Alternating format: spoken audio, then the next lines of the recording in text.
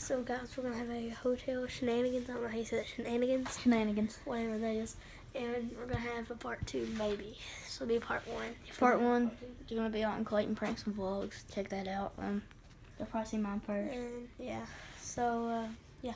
Cause uh, So the get next 100 clip- subscribers. the next clip is gonna be that. Next clip, hotel shenanigans. Yeah. Alright, so guys, we're on this. We're starting hotel shenanigans. And I'm on this thing for some reason. yo, yo. Oh god. and I'll catch you in the next clip. Huh? How'd you want to get in that room? Down there. What? You want to get in that room down there? I don't know. Let's go, go, go, go.